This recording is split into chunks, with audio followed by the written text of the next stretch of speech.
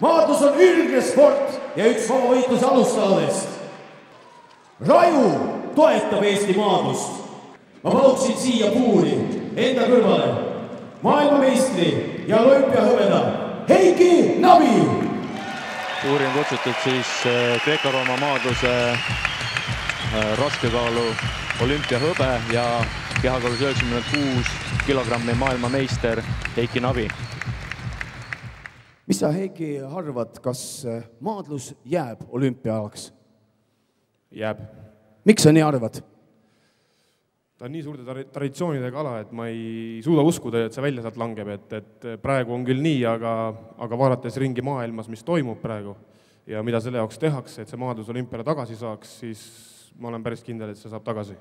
sind on vaatamas praegu tuhanded, tuhanded, tuhanded inimesed nii läbi meie telekanali kui ka siinsamas mis on sinu sõnum neile? toetage Eesti maadlust, minge Facebooki lehele ja likeige Eesti maadlust ja lugege veel rohkem informatsiooni maadluse kohta maadlus.ee lehelt ja Eesti Maadlusliidu kodulehelt. kõike head, aitäh teile! daamid ja härrad, Heiki Nabi, olümpiahõbe! ja publik jagab tunnustust olümpiahõbe Heiki Nabile nüüd on aeg minna matši juurde. kutsun puuri sinisesse nurka sportlase Vändra maadlusklubist Suure Kaju, Suure Karu pojad. ta on neljakordne Eesti meister Kreeka-Rooma maadluses. ta on kolmekordne Palusalu mälestusturniiri võitja. kahe tuhande kaheksandal aastal saavutas ta üliõpilaste maailmameistrivõistlustel kolmanda koha. kahe tuhande kümnendal aastal viienda koha. daamid ja härrad, kutsun puuri ハロ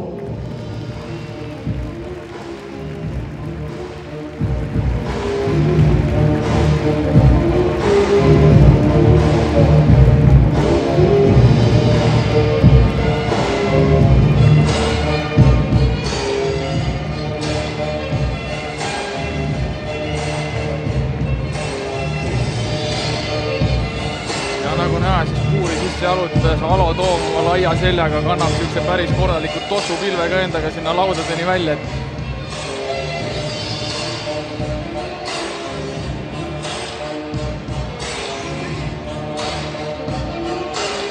sinises trikoos tuleb siis Alo Toom, käesoleva aasta Eesti meister, mitmekordne Eesti meister. sportlase maadlusklubidest Nelson ja ASV Nendimäe ta on seitsmekordne Eesti meister Kreeka-Rooma maadluses. ta on mees, kes on alistanud Eesti meistrivõistlustel legendaarse maadleja Valeri Nikitini. ta on kahe tuhande üheksanda aasta Eesti parim Kreeka-Rooma maadleja. kutsub puuri Erik Aps. You now rocking with the best. Just blaze. Power.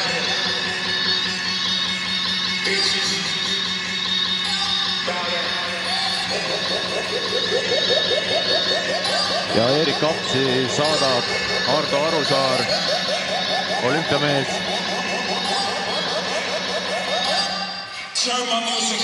Martin, äh, Erik Apsi kohta on teada, et ta maadleb Saksamaa Bundesligas, mis on Saksamaa kõrgem maadlusliiga kas sa oskad natuke seletada või oled sa kursis sellega, mida selline maadlusliiga endast täpselt kujutab? no Bundesliga on äh, sisuliselt klubide vaheline võistlussari äh,. maadeldakse siis äh, puurisinises nurgas. igas kaalus äh, selliselt, et tehakse turniirid ja igas kaalus siis kogutakse võidud ja võidud jaotatakse punktidega ja saavutatakse selle läbi oma klubile võidupunktid vanus kakskümmend viis aastat, pikkus ja loomulikult äh, seal punktidele maadlusel on juba väikene raha vahel, ehk siis, et on võidusummad Eesti, Eesti mõistes päris head.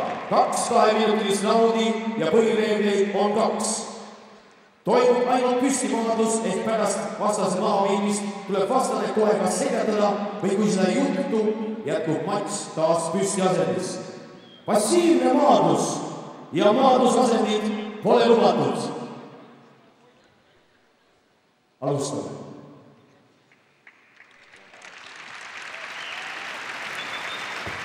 Raju publikule kindlasti äh, midagi uut. absoluutselt kindlasti ka mina ei ole veel, keegi pole Raju puhul midagi sarnast veel enne näinud, nii et saame, saame milline päris, päris maadlus endast kujutab, et siin on kaks väga head maad praegu võitlustel pole ma kummagagi maadelnud, küll aga olen seda teinud võistlus äh, välisel ajal äh,, teinud seda äh, treeningsituatsioonis ja ma võiks öelda niimoodi, et mõlemad ja Erik Kaps leiab oma esimese heite sealt ka. kolm punkti, käeheide, käsivarre heide nii-öelda. ja Erik asub seda matši juhtima. Mida ma tahtsingi ütlema hakata, ongi see, et äh, Eerikul tegelikult selline kiire, kiire tempo ja, ja, ja nüüd me vaatame, kas Alo läheb ja läheb heitma. kolme punkti heite peale.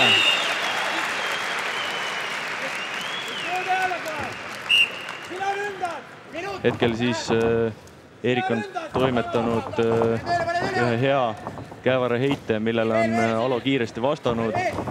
selja taha liikunud, tegi selja taha tõmbelt ja, ja läks sealt äh, heitega juhtima. hetkel peaks siis olema seis oi, tuleb siit veel kolmas.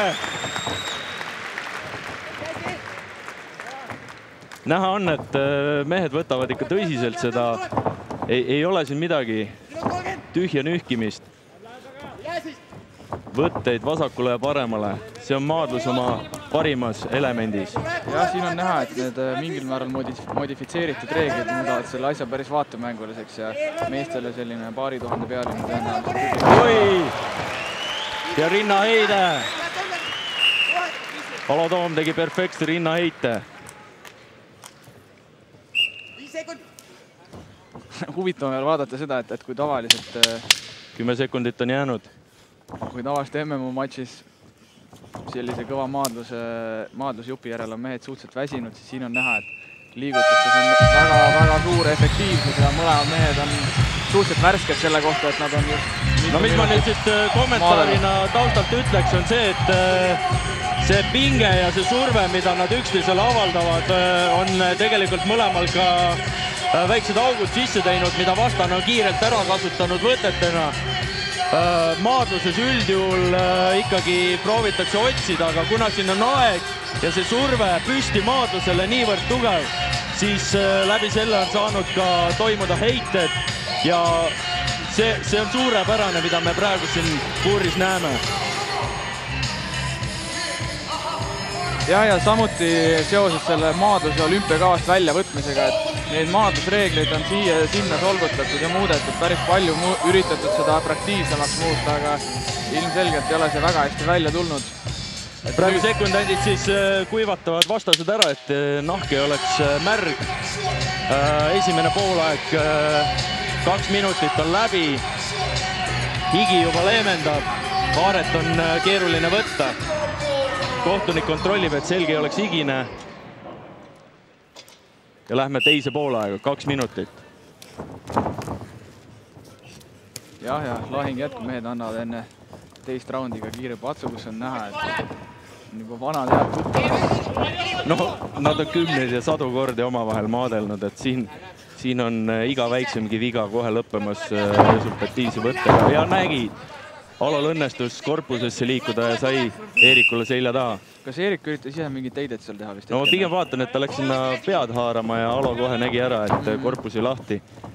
ja kohe liikus äh, hopsti alt. Äh, kuna Kreeka-Rooma maadluses ei ole lubatud äh, jalgadest haarded või jalgadest tõmmata, siis Alo liikus efektselt vööpiirkonda, võttis sealt kinni ja, ja tõi oma korpuse jalade järgi ja Eerik kaotas tasakaalu ja loomulikult ka ühe punkti sellega.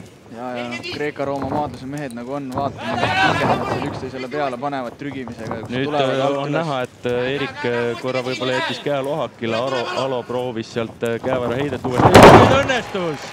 täpselt seesama, mida ta ennem proovis teha Eeriku vasakule käele, läks läbi nüüd parema käe pealt. käevara heide, kolm punkti Alole kas maadlejate puhul on väga tavaline, et äh, noh, nagu hetkel näha oli, et siis vahet ei ole, kummale poole ta selle heite sooritab? Äh, see ei ole küll jah oluline, küll aga ütleme siis, kui sa oled vastasele ümbert kinni saanud ja lähed äh, keha ja käe heitega, siis äh, üldjuhul sooritatakse see heide kinnise käe poole, mitte lahtise käe poole.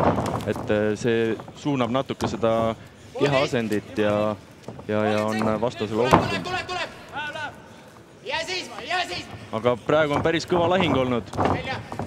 aega on veel jäänud kakskümmend sekundit. Eerikul õnnestub kolme punkti heide. jah, Eerik kasutas seal väga hästi alo peale liikumist ära, ajastas sellise ausalt öeldes mul on juba punktiseis sassis. loodan, et kohtunikul on kõik see täpselt kirja pandud. matš on olnud päris tasavägine. ja väga va- vaatemänguline selle juures ka, jah. Ja teine poolaeg on lõppenud.